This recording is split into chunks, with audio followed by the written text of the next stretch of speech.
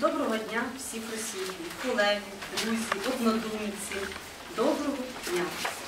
Сучасний політичний та соціально-економічний стан України, карколомні вимоги, виклики часу спонукають до стрімких і чітких реформ в різних галузях суспільного життя.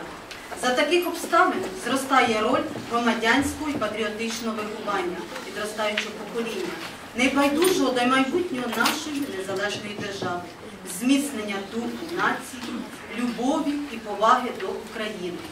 Любов до вітчизни це насамперед вірність, піклування про інтереси та історичну долю країни, готовність заради них до самопожертви, повага до історичного минулого України, до її традицій, зокрема й спортивних. Офіційне визнання хортингу національним видом спорту відбулося у 2009 році і було приурочено до Дня Незалежності України. Зазначений факт знайшов відображення в наказі Міністерства України у справах сім'ї, молоді та спорту 3000 від 21 серпня 2009 року.